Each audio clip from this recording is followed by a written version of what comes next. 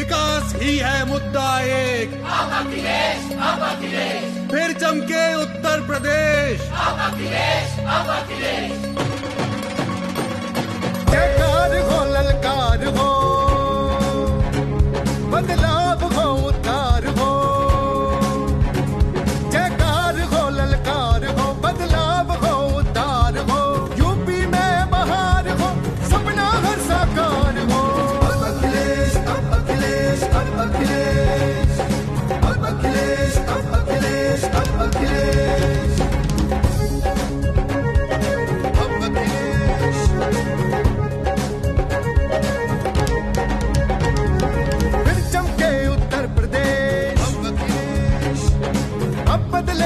ये परिवेश।